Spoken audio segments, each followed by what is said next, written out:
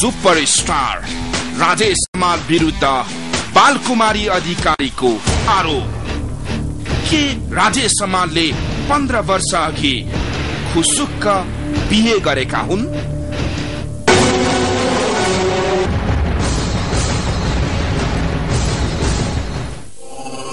बुधबार अपराह्न महानगरीय प्रहरी परिसर हनुमान ढोकामा सधैँ भन्दा बढी भिड थियो। यो भिडको केन्द्रबिन्दु थिए नायक राजेश हमाल। आफूमाथि लागेको आरोप बारे बुझ्न प्रहरीले बोलाएपछि हमाल हनुमान ढोका पुगेका थिए।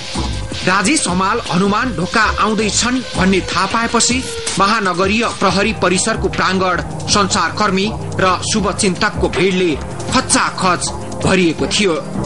एक्कासी एक महिलाले आफू उनको पत्नी भएको र उनको तीन सन्तान समेत आफ्नो साथमा रहेको आरोप लगाएपछि हनुमान ढोका पुग्न बाध्य भएका हमालको अनुहार हेर्न लायक थियो।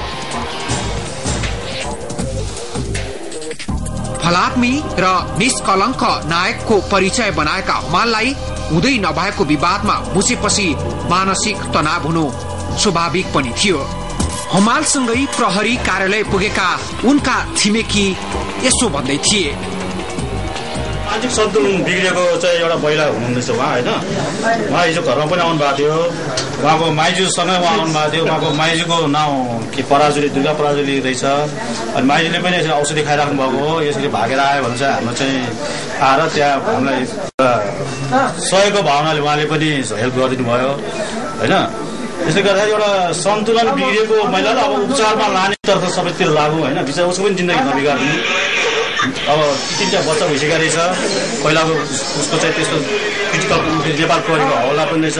त्यसमा प्रहरीले पनि पूर्ण रूपमा सहयोग गरेर चाहिँ उहाँलाई चाहिँ एउटा ट्रिटमेन्ट गरेर हुन्छ के गरेर हुन्छ उसलाई पुनस्थापित केन्द्रमा राखेर हुन्छ के पा हुन्छ त्यसमा लगिदिनु पर्यो हमालमाथि लागेको आरोपको छिनो फानो हुने भएकाले पनि धेरैले उत्सुकतापूर्वक हेरिरहेका थिए। संचारकर्मी र शुभचिन्तकबाट घेरिएर प्रहरी कार्यालय छिरेका हमालले कार्यालयभित्र आफूलाई पति दावी गर्ने महिला बालकुमारी अधिकारीलाई देख्न साथ सोधे। किन यसो गर्नु भएको त्यसपछिको संवाद यस्तो थियो।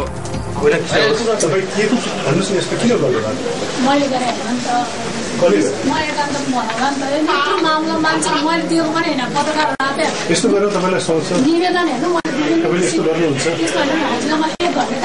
म त खालि एउटा जिम्मेवारी नागरिक भएको हुनाले चाहिँ नि त्यो कुराहरू सुल्झोस् भनेर आएको नत्र म आउने पनि थिएन हेर्नुहोस्। मलाई आउनु कुनै जरुरत पनि छैन। तपाईँले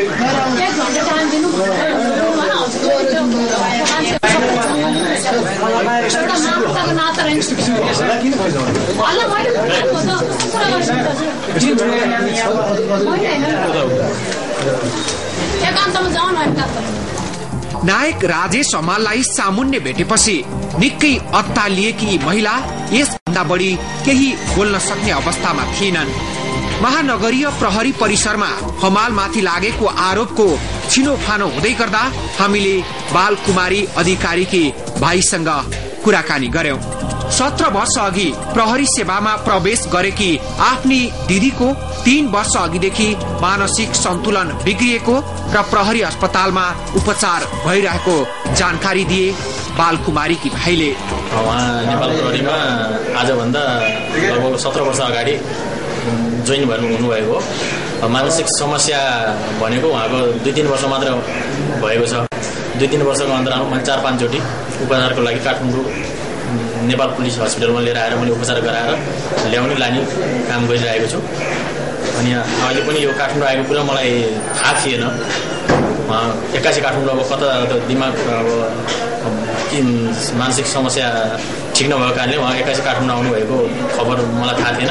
उहाँ काठमाडौँ आएर यो न्युजहरूमा मैले सुनेको सुन्ने बित्तिकै मलाई अलिकति कस्तो कस्तो खल्लो लागिरहेछ त्यस कारणले अब उहाँको जुन अभिव्यक्ति दिनुभयो त्यो सरासर झुटा अभिव्यक्ति हो।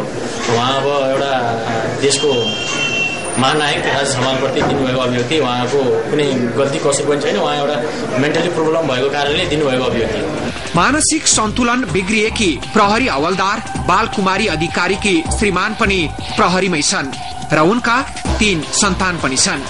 उहाँको अब श्रीमान भनेको नेपाल प्रहरीमा प्रहरी प्रसन्नी कृष्णबहादुर राणा हुनुहुन्छ। उहाँबाट तिनवटा छोरीहरूको पनि जन्म भइसकेको छ। अब उहाँले दिनुभएको अभिव्यक्ति मेरो श्रीमान हो भनेर दिनुभएको अभिव्यक्ति सरासर झुट। प्रहरी कार्यालयमा प्रवेश गर्दा निकै तनावमा देखिएका नायक हमाल एक घण्टापछि कार्यालयबाट बाहिरिँदा केही खुसी देखिन्थे। उनी बाहिरिन नपाउँदै संचारकर्मीले घेरा हालेपछि यस्तो प्रतिक्रिया दिए। कसरी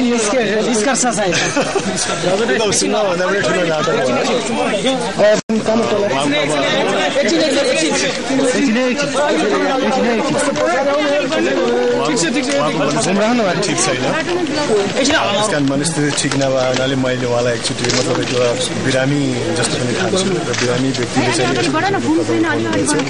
म उहाँको चाहिँ नि स्वास्थ्य उपचारको लाभको पनि कामना गर्छु म चाहन्छु कि उहाँ चाहिँ परिवारको रेखदेखमा बस्नुहोस् घुमल त लाउनु उहाँसँग एकदम भन्दा पनि मैले उहाँलाई चाहिँ एउटा अस्वस्थ व्यक्ति एउटा मनस्थिति बिग्रेको व्यक्ति र त्यो आवेशमा आएर एउटा मनस्थिति चाहिँ सही दिशामा नभएको व्यक्तिले चाहिँ विभिन्न कुराहरू बोलेको हिसाबले चाहिँ मैले त्यसलाई लिन्छु तर म चाहन्छु कि उहाँको चाहिँ स्वास्थ्य उपचार होस्।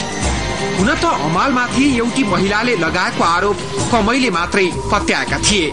यद्यपि बुधबार महानगरीय प्रहरी परिसरमा मुद्दाको छिनोफानो भएपछि उनीमाथि लागेको आरोप साँच्चै मिथ्या थियो भन्ने आधिकारिक रूपमै पुष्टि भएको छ।